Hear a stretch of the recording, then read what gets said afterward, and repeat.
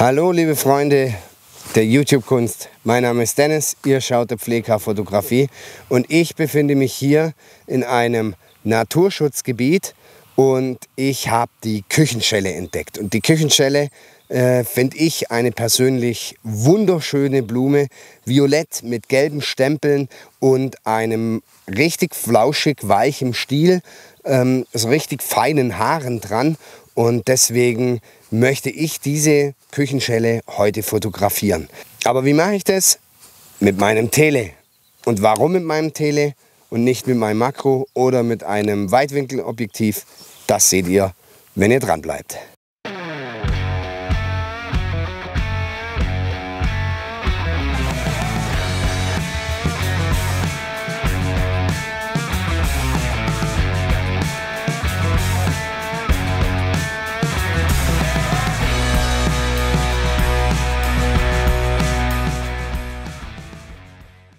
Ja, willkommen zurück nach dem Intro. Ähm, wie schon gesagt, heute wollen wir die Küchenschelle fotografieren. Die Küchenschelle ist, wie ich es auch schon erwähnt habe, eine wirklich tolle, tolle Blume. Ich finde sie wunder, wunderschön. Aber euch, lasst euch gesagt sein, die Küchenschelle ist unter Naturschutz. Man darf sie weder aus, ausreißen oder ausgraben und irgendwo mit hinnehmen. Deswegen haltet euch doch da vielleicht auch bitte einfach dran. Ich darf nicht sagen, wo ich mich befinde, denn ähm, wie gesagt, es ist ein Naturschutzgebiet und weil sie eben unter Naturschutz steht, möchte man natürlich verhindern, dass die Küchenschelle hier totgedappt und überlaufen wird.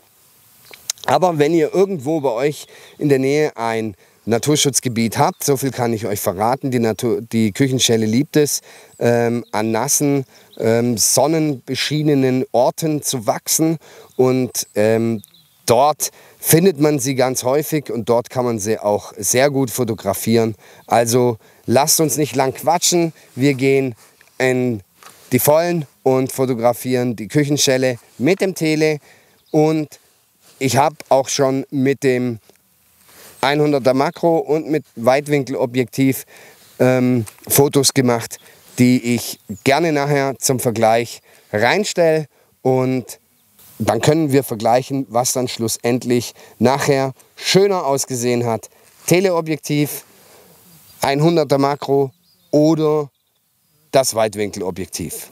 Also auf geht's, wir gehen zur Küchenschelle.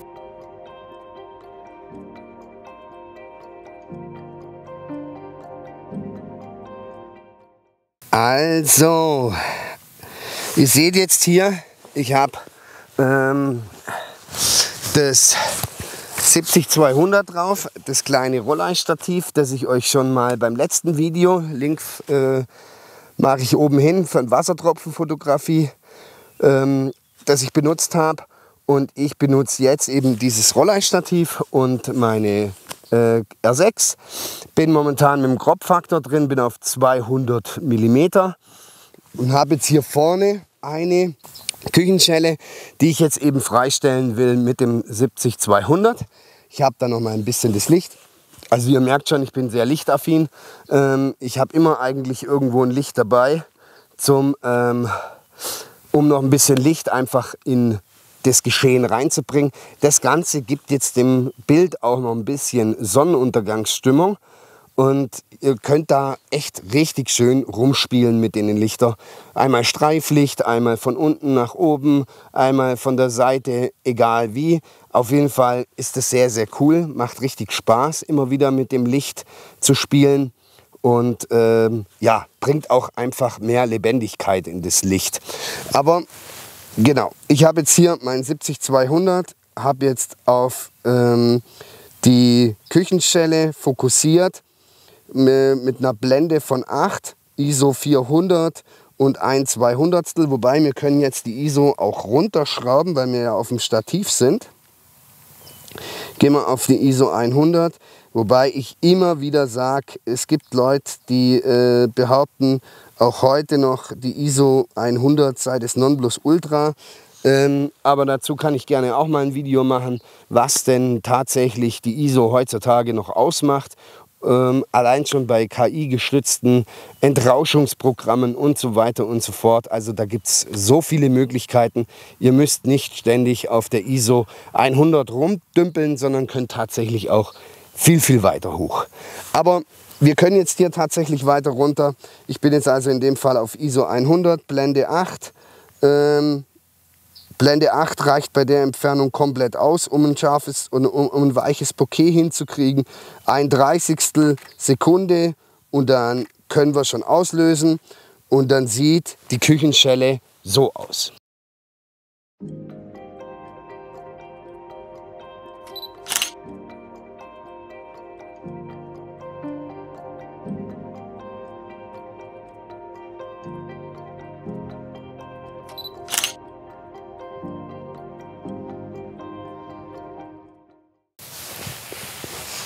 So, weiter geht's.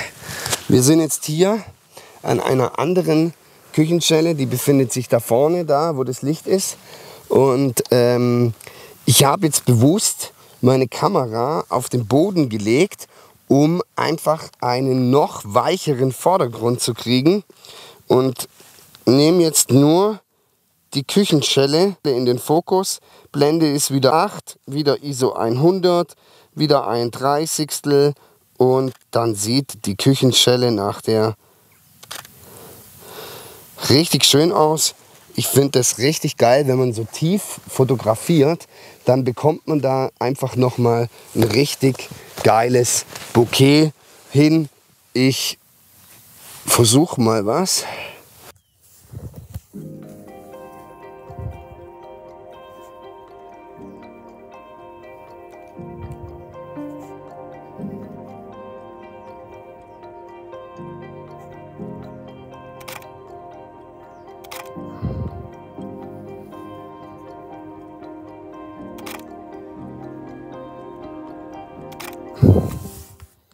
Genau, so sieht das Bild dann aus. Kommt doch einfach mega cool. Umso tiefer, umso weicher der Vordergrund. Und auch wenn ich dann noch einen ansteigenden Hang habe, so wie hier, dann habe ich hinten dran richtig schöne Unschärfen, ein richtig schönes Bouquet und habe die Küchenschelle wirklich komplett freigestellt. Und so stelle ich mir persönlich auch die Bilder vor. So möchte ich sie gerne haben. Ich habe jetzt da vorne noch ein Nest gefunden. Das möchte ich jetzt auch noch fotografieren. Ich nehme euch dahin mit. Ich baue nur schnell um.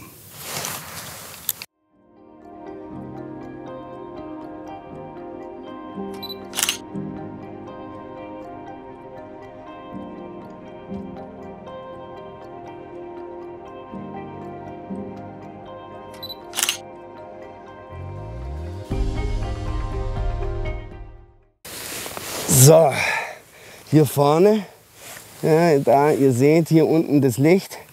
Ja, da ist jetzt wieder das nächste Nest. Und das Nest will ich jetzt fotografieren. Und zwar habe ich da auch wieder mein 70-200.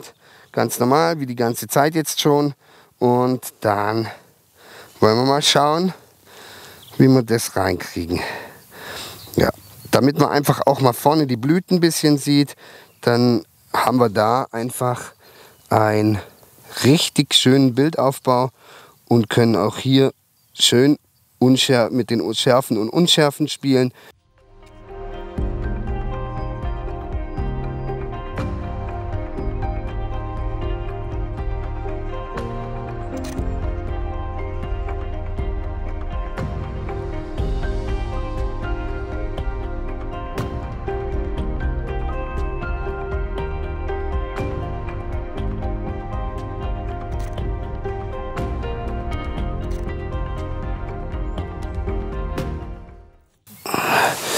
Wenn ihr die Kamera auflegt, dann macht es auch gar nichts, wenn ihr ähm, ja, mit einem 31. fotografiert und bei Canon R6, R5, R3, R7 und so weiter mit äh, IBIS macht es sowieso nichts mehr, achtfache Bildstabilisierung, wenn das ähm, Objektiv dann auch noch stabilisiert ist. Also ihr habt da wirklich extrem viele Möglichkeiten, die ihr nutzen könnt und ähm, ein Dreißigstel hebt ihr ganz gemütlich, wenn ihr eine ruhige Hand habt.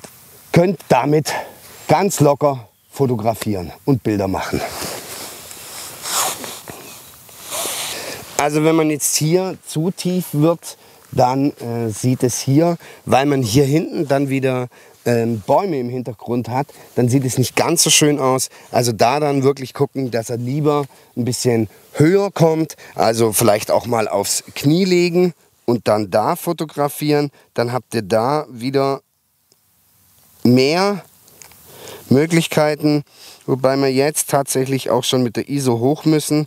Ja, wir gehen mal mit der ISO auf ähm, 250.